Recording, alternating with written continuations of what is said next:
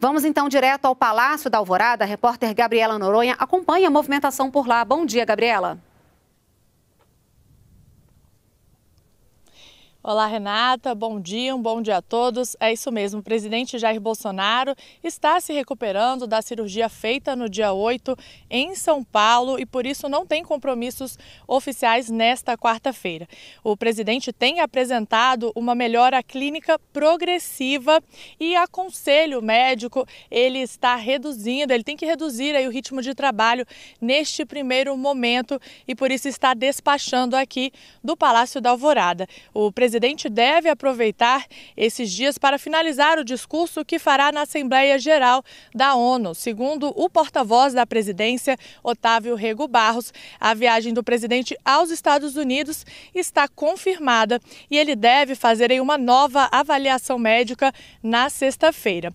Ontem, na retomada aos trabalhos em Brasília, o presidente sancionou projetos de lei. Um deles obriga agressores de mulheres a ressarcirem o SUS pelos gastos com as vítimas. Vamos ver mais detalhes na reportagem de Márcia Fernandes. Ainda se recuperando da cirurgia de correção de uma hérnia no abdômen e dentro do Palácio da Alvorada, o presidente Jair Bolsonaro reassumiu a presidência e sancionou um projeto de lei que altera o Estatuto do Desarmamento. Com a sanção, agora moradores de áreas rurais têm assegurado o direito da posse de armas de fogo em toda a propriedade rural e não apenas dentro da residência, como determinava o estatuto.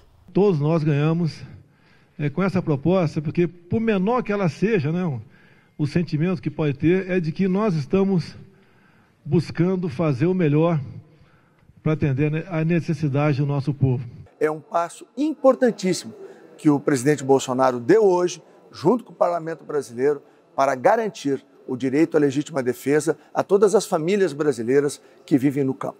O presidente também sancionou outros projetos. Um deles altera a Lei Maria da Penha, prevê que os agressores sejam responsabilizados pelos gastos das vítimas de violência doméstica relacionados aos serviços de saúde prestados pelo Sistema Único de Saúde, o SUS.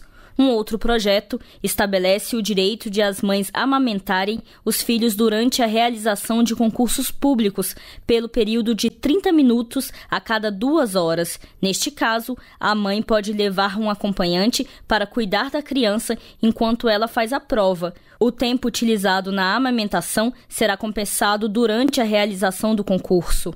E um outro projeto sancionado inclui o laço junto da vaquejada e do rodeio como manifestação cultural do patrimônio cultural brasileiro e determina que nas vaquejadas os animais tenham acesso à água, comida e outros cuidados.